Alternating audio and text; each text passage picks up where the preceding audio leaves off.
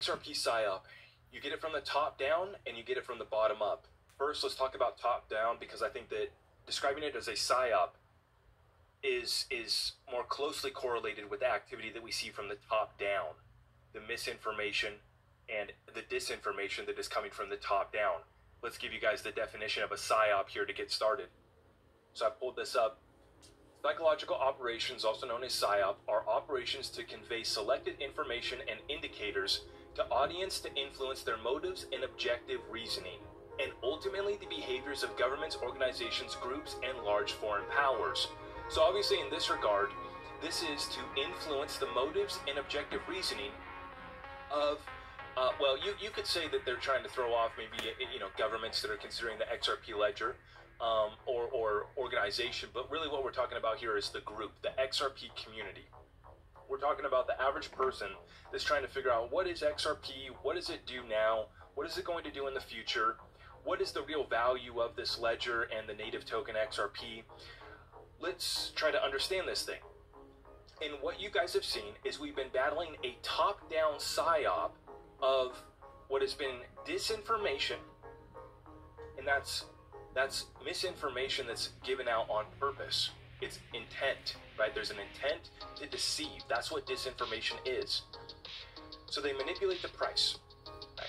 This is one aspect of it. The second is the SEC lawsuit.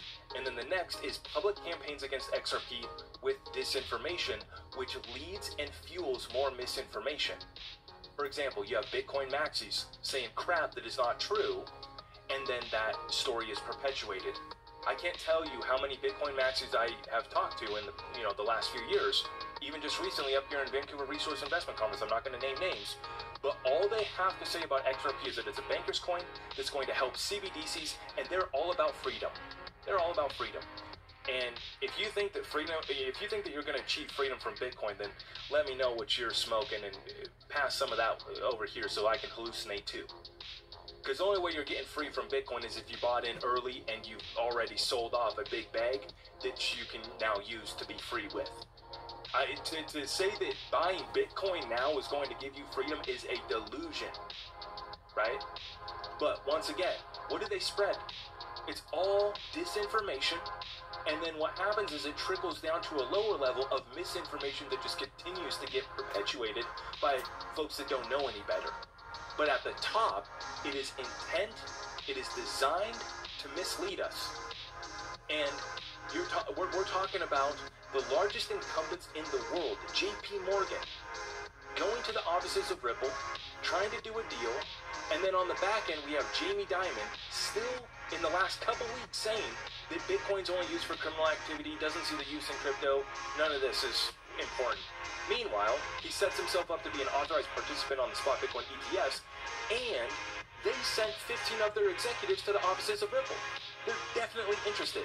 And they've already launched their Onyx uh, blockchain solution as well, which nobody wants to use that, or uh, they've gotten a little bit of traction, but nobody wants to use JPM Coin, right? Uh, people are already using JP Morgan systems, but that doesn't mean that anybody wants to hold JPM Coin, right? But what the point is, guys, is from the top down, it's a psyop to mislead the average investor, to mislead someone who's looking to invest in the digital asset space, and they are fed lies, some by design on purpose, and others misinformation that just continues to get spread and perpetuated throughout the communities, right? Now, from the bottom up, what we're dealing with is a group of people that want to control the narrative. We're talking about con- other content creators. We're talking about XRP community members, some that are personally coming after me and coming after what we say because we call XRP a world reserve digital currency. And I've explained this and made this as simple as possible. We don't have to have some confusing conversation that's lost in the nuance. I'm not saying that XRP is a more adopted world reserve currency than the US dollar. That's not what I'm saying at all, right? I already said earlier in the stream, the US dollar is still the cleanest shirt in the closet, but people are seeking alternatives. If you want to call Bitcoin a world reserve currency, sure, go ahead, right? It is being held as a store of value, which is the first part of, of a reserve, and then the other part is being used as a payment system. Bitcoin is. Is it an effective one? No. Is it very slow? Is it very expensive? Yes. Does it suck? Absolutely. But it still is being treated and uh, used as a world reserve currency by many people in the Bitcoin community. And so my point is, is that the same thing's taking place with XRP. My XRP, I put out a video. I titled it with a thumbnail. My XRP identifies as a world reserve currency. Now, I'm making a joke about how everybody wants to identify as a zebra, a unicorn, live in airy fairyland. And I'm not here to live in airy fairyland. You guys know that. Let's keep it real. But the reason why I call it that is because that we have, by definition, a world reserve currency here. We have a worldwide population that holds it as a store of value, myself included. Now, am I an idiot for doing that? Am I dumb? Uh, that's somebody else's opinion. Perception is reality. And our reality in the XRP community for many of us is that we are treating it as a world reserve digital currency. The beautiful thing about a reserve currency here is that you can hold it as a store of value and you can also use it for a transaction settlement, a payment system. And with the XRP ledger, you're going to get all sorts of utility that you don't get with a US dollar, that you don't get with a Bitcoin, that you don't get with gold or a silver, that are also world reserve currencies. By definition. And so we have our community is literally getting attacked from both sides. From the top down. CNBC won't mention it. Fox Business. I thought they were going to talk about ETHGate. Where are they at?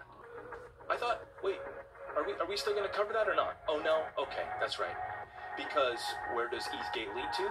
It leads to ConsenSys, it leads to JP Morgan, and it leads to the top of Wall Street.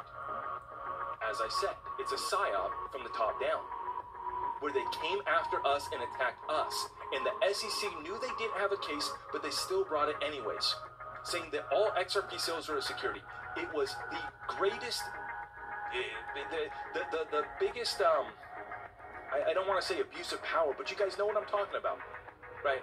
Stretching the law to where they obviously knew it did not apply. Right?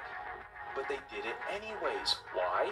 Because XRP and the XRP ledger was the biggest threat to the incumbents. It's very simple. And so it's a top-down psyop to make us think that XRP has no value, and the biggest narrative that they want to come against is us calling it a reserve currency. Now, on the lower level, there's some people that are just too stupid to wrap their mind around it, and, and, and so and, and they think that it's inappropriate that we talk about XRP being a reserve currency. It's inappropriate that we talk about XRP being higher than five dollars. You know, eh, eh, they, they want to be the Twitter and the, the thought police, right? And so you guys see it from the top down and then from the bottom up. Misinformation that's spread by dubious morons that just don't know any better because they listened to a Bitcoin maxi that was sharing disinformation and, and, and what you have is the loudest people are the most emotional traders that are, you know, made a bad investment. They overinvested. They have a bad business that's not working, and then they want to blame Ripple, right? It's the same thing. A, a, a and, and I'll just be right, right up front with you guys. It's the same exact thing. What I see is investors who don't want to be accountable for the investments that they've made, the business decisions that they've made.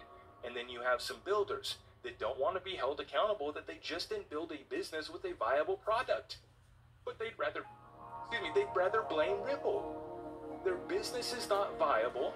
They don't offer products or services at a profit margin that is sustainable. And they want to blame Ripple.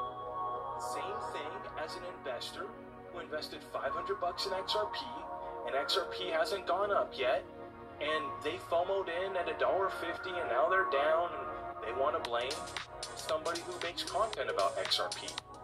You know, instead of being accountable, they want to blame somebody else.